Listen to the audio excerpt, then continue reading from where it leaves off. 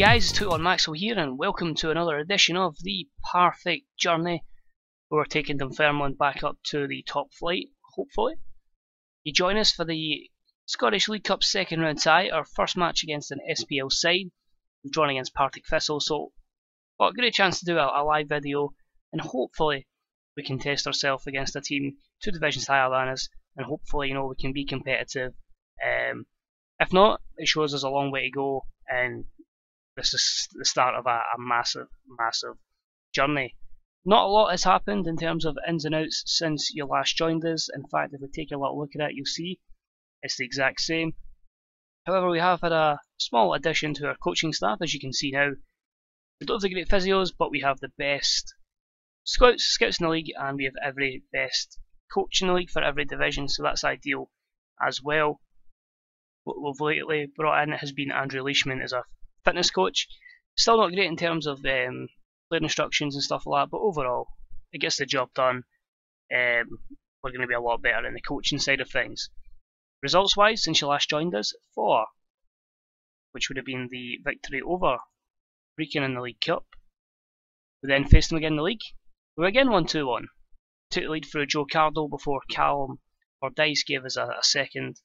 Andy Jackson pulled one back in the second half, but overall, it done the job. It gives a good start to the league, three points, and it showed you know it's going to be a little bit difficult, not as much a stroll. As you can see, we then won 2 1 again against Cowdenbeath. Two goals from Fazil El Bakhtaoui before Alden El Zubaldi, or Zubadi, got a goal. Uh, former Hamilton Academical and Motherwell youth player there.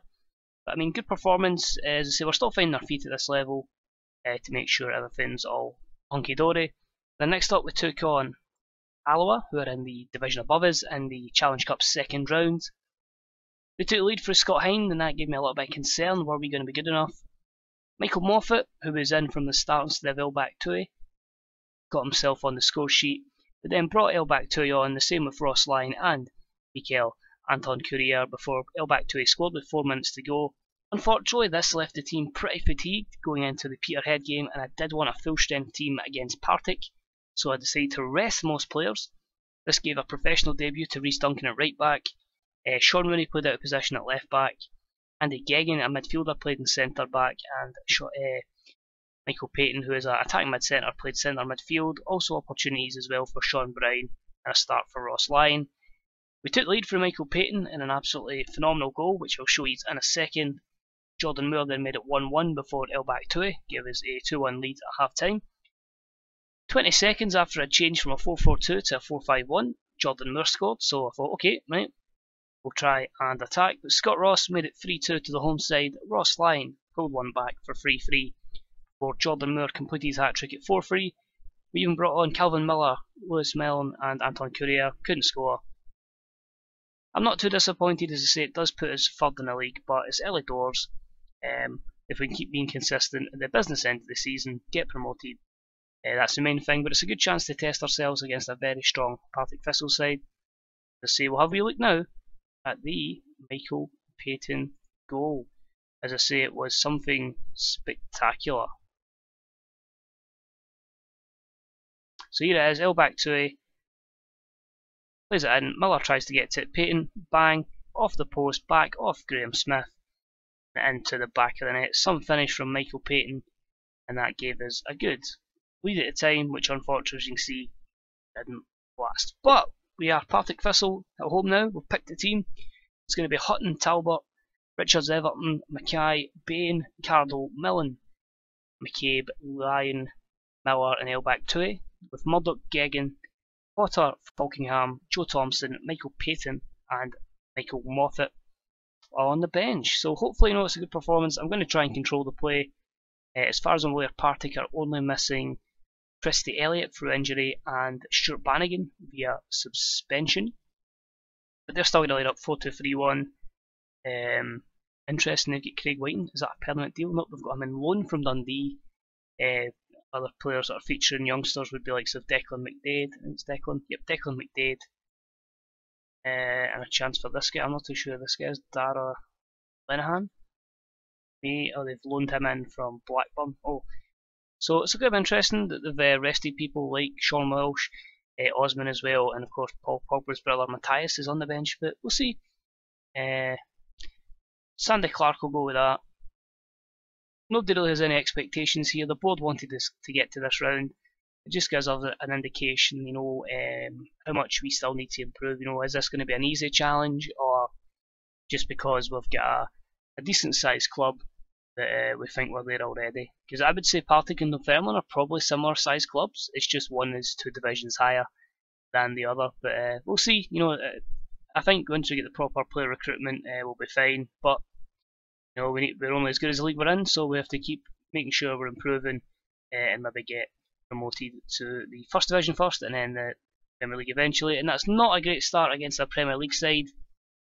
Quality shines through there as Declan McDade gets himself on the score sheet. A lovely move from Partick there. Gary Fraser into Mahoney.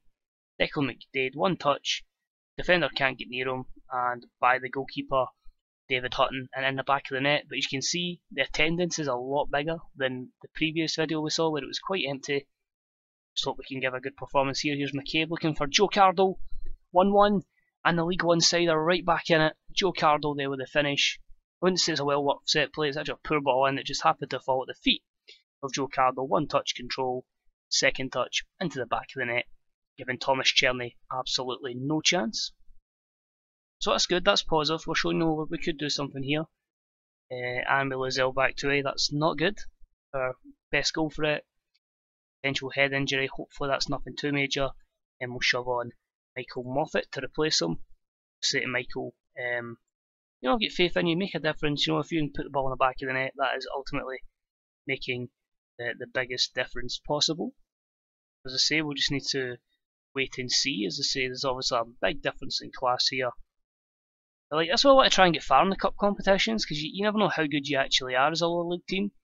Like even the Challenge Cup, they probably won't win it, but if we can play against Rangers, if we can play against Hibs, it's, it's a great test of our character to see how good we are.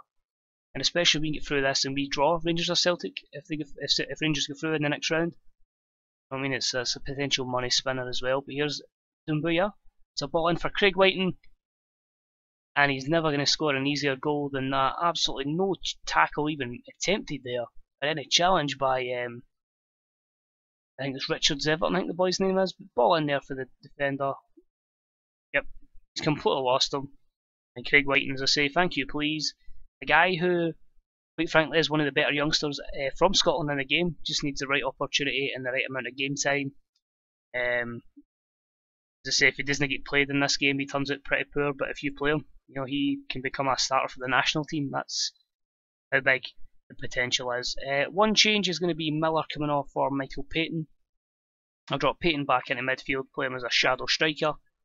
As I say, for those of you who followed my Hereford save in last year's FM on Twitch, you'll remember he was a key part in the conference and in League Two before we decided, ah, maybe it's a step too high for him. Anyway, ball in, here's Richards Everton. Away by McDade. Bain, you better get to this. I swear to God if he beats you to this. Jamie Bain looks plays it direct, looking for Paton. Well won by McCabe. Here's Lyon. Moffat, he's got to play it through for Paton. It could have been two and two, but it's a good save from Tomas Cerny. And unfortunately, not on this occasion. McCabe with the ball in, and Richards Everton pretty poor there. He's not ideally my first choice defender. I'd obviously want to play Fordyce, but with his injury, it's not to be. Um, I think if we do get promoted, then defence will be a massive place we'll be looking to recruit, especially Mackay. Go back to St Johnstone. Ross Lyon coming off then for a third change, and it will be Joe Thompson.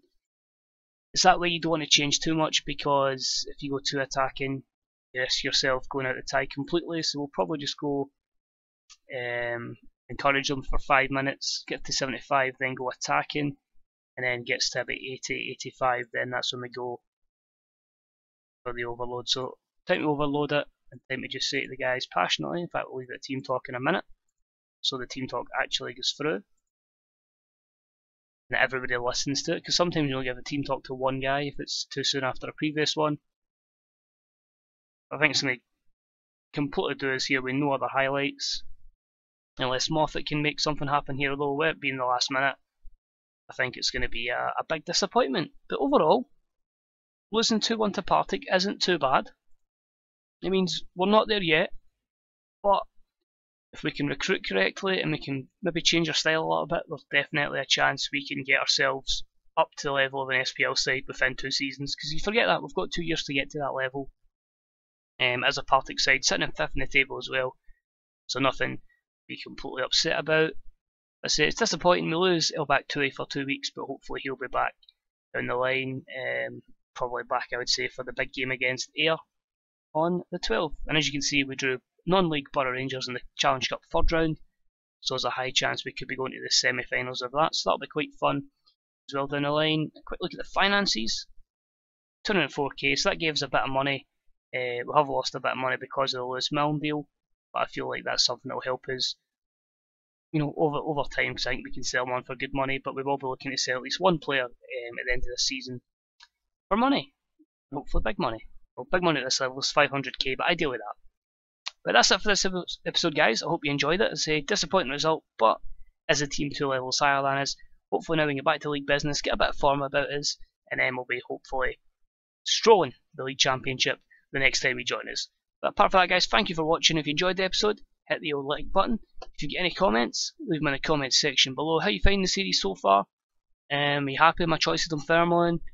Let me know your general thoughts, guys. And as always, thank you for watching. And remember to check out the hashtag on Twitter we are the community. Thanks for watching. Bye bye.